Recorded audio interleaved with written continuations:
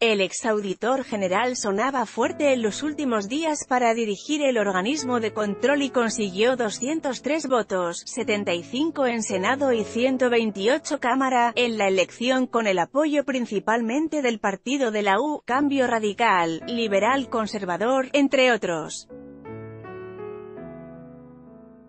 Por su parte, el presidente de la Federación Colombiana de Ganaderos, FEDEGAN, José Félix Lafauri, quien contaba con el apoyo del Centro Democrático, consiguió 12 votos, 3 en Senado y 9 en Cámara.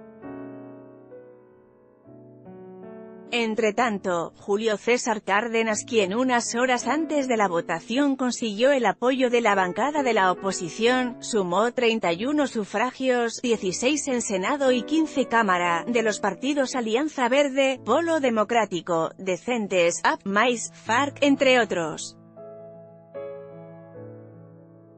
La elección tuvo una participación de 248 votos, es decir que 95 senadores y 153 representantes estaban habilitados para depositar su voto a través de los tarjetones por los nueve aspirantes a la elección.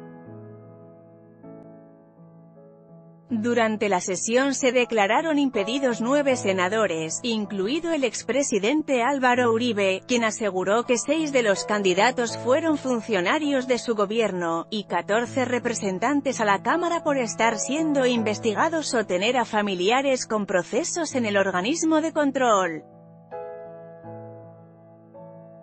¿Quién es Córdoba? Si los partidos sostienen su palabra, Córdoba, de 38 años, se convertirá hoy en el sucesor de Edgardo Maya, es profesional en gobierno de la U.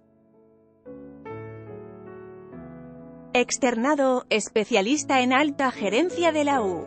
Libre de Pereira y máster en acción política, fortalecimiento institucional y participación ciudadana de la U Rey Juan Carlos. Fue director del programa anticontrabando de la Federación de Departamentos y vicecontralor general. Renunció en medio del escándalo por el arrendamiento de unas oficinas de la Contraloría en Bogotá, hechos por los que fue investigada la entonces Contralora Sandra Morelli. En esa misma entidad estuvo como Contralor Delegado, Director del Control Ciudadano y Contralor General encargado. En el 2015 fue nombrado por el Consejo de Estado Auditor General de la República, de la terna enviada por la Corte Suprema de Justicia. Aunque es cercano a la U, su esposa, Marcela María Yepes, directora de Control Interno de la Fiscalía, es hija del ex senador del Partido Conservador Omar Yepes, por lo que también allí tiene apoyo. A la postre es pereirano y exsecretario de gobierno de esa ciudad, lo que también lo hace afín al expresidente Gaviria.